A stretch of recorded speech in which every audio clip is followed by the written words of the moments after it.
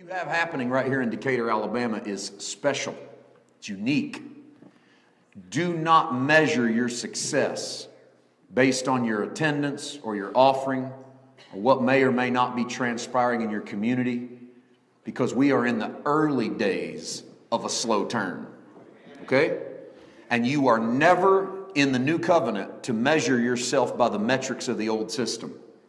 You are carrying a new wine, but you are not carrying it in an old wineskin.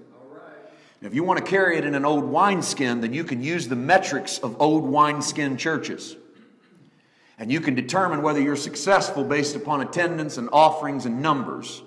Or you can carry a new wine which doesn't know the legal limits of law, but knows the life, the endless life of the Holy Spirit. And in that, there's a whole new metric by which you measure, and that metric has nothing to do with attendance boards and money and has everything to do with liberty and release.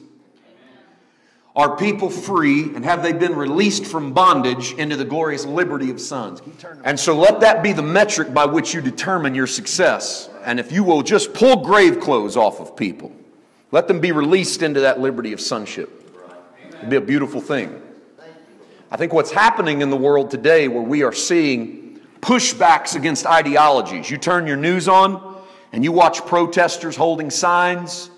You watch people fighting on one side of the aisle and the other side of the aisle ideologically. And if you take it through the metrics of your immediate context, you're going to say, oh my goodness, the world's going to hell in a handbasket. But if you take it in the broader context, you ought to celebrate because you live in a world where people can disagree and they don't kill each other. And you didn't live in that world 200 years ago. You barely lived in that world 100 years ago, and there were pockets of it 50 years ago where you didn't live in that world. And you're increasingly living in a world where man has expanded his ability to appreciate the difference in his neighbor. Why are you starting a sermon off with this? Because if grace is going to win the war for man's soul, and I believe it will, we're going to have to do it better than they did it a half a millennium ago when Martin Luther stuck his 94 thesis on the door of the church in Wittenberg, Germany, basically telling the Catholic Church here are 94 things you're doing wrong, and we're going to get them right according to grace. And both sides picked up swords and killed the other one on ideological grounds. We have to grow past that. We've had 500 years to grow past that. And I thank God we are growing past that. That you're going to be able to see someone who completely disagrees with you and you're not going to think they need to die. You're going to see someone who completely disagrees with your theology and you're not going to condemn them to hell.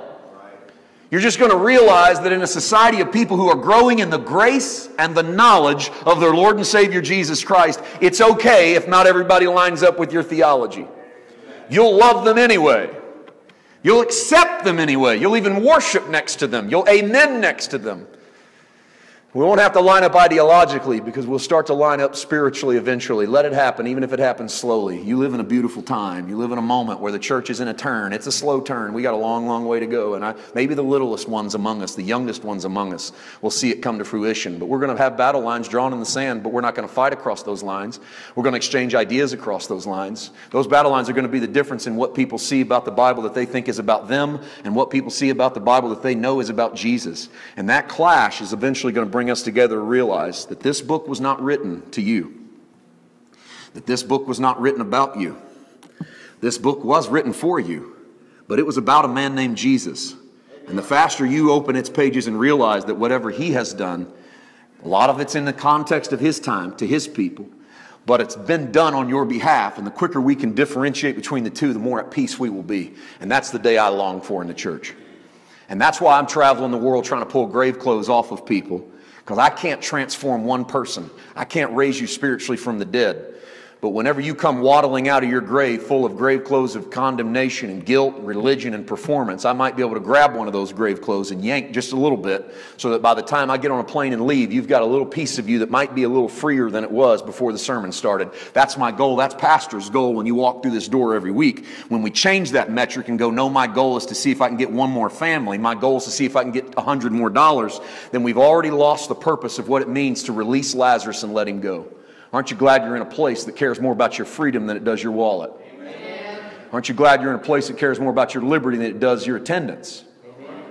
Yes, your liberty than your attendance. May that become the mantra of who we are in Christ. that I'd rather you be free than here.